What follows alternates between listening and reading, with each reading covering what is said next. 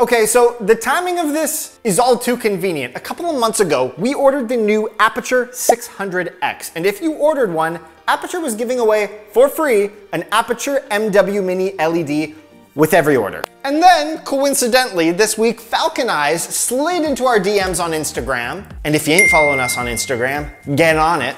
And they want to send us their all new Pocketlite F7 Mini. And then they arrived literally on the same day. That's suspicious. That's weird. So in this video, we're gonna put these two little guys head to head and see which one comes out on top.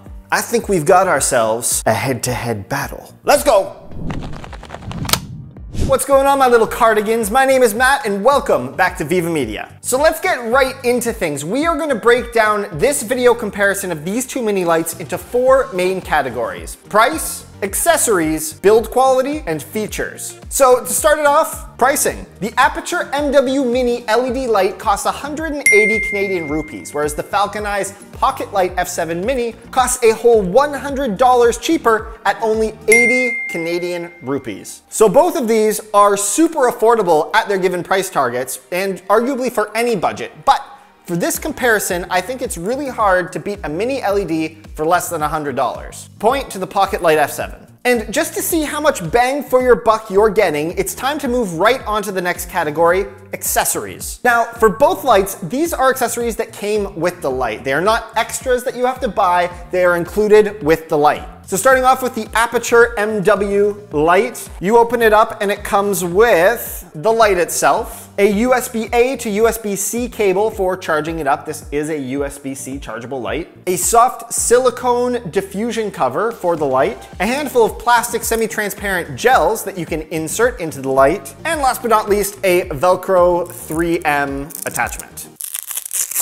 And of course, that all comes bundled in a nice little soft slash semi-hard shell case. In contrast to that, we have the Pocketlite F7 coming in a soft but rugged canvas style case. Zipping it open, we have the F7 Mini itself with a silicone diffusion cover. And in the front, we have, of course, another USB-A to USB-C charging cable, a wonderful addition of a hot shoe to 3 quarters mount adapter, and my favorite part, a little mini silicone grid. And so again, with that Falcon Eyes coming in swinging at only $80, and yet you get so much more stuff with it versus the Aputure. So then you're probably wondering, why is the Aputure so much more dollars wise? Well, maybe our next comparison will shed some light on that.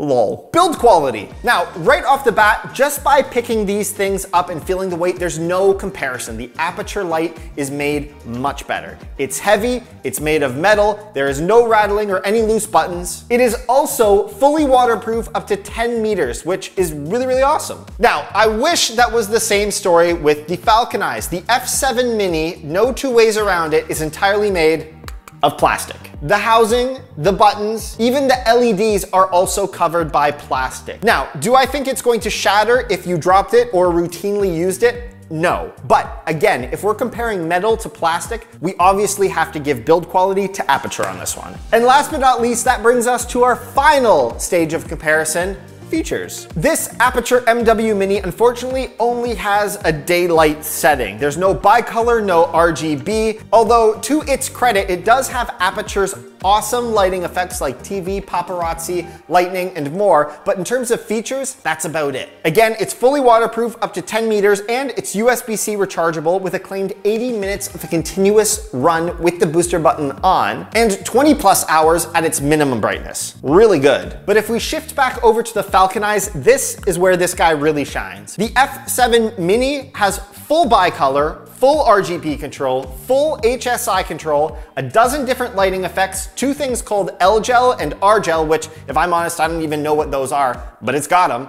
And to top it all off, it has magnets on the back of the body, which allow you to stick it to anything metal for endless lighting possibilities. I love this. And of course, this is USB-C rechargeable and can run for 100 minutes at full power. And just for a quick brightness comparison, here is a few side-by-sides of both lights, both on daylight setting and both at 100%.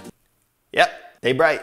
So, the question you're all wondering, which mini LED light reigns victorious? The Aputure light has an amazing build quality, is definitely brighter, and is waterproof, but filmmaking is all about having options and using these options to better create and tell your story, which is why we have to crown the Falcon Eyes as victorious. Sure, its build quality may not be that of Aputure, but with its dozens of lighting features, accessories, and the fact that it has magnets on the back, not to mention it's only $80, we think this thing is the perfect light for any filmmaker or creative to have in their camera bag. But don't worry, Aputure, we still love you. But what did you think of our comparison video? Do you agree? Do you disagree? Want to throw rocks at us? Let us know in the comments section down below. And as always, thank you for watching. My name is Matt, we are Viva Media, and we'll catch you in the next video. Baby, you light up my world like nobody else.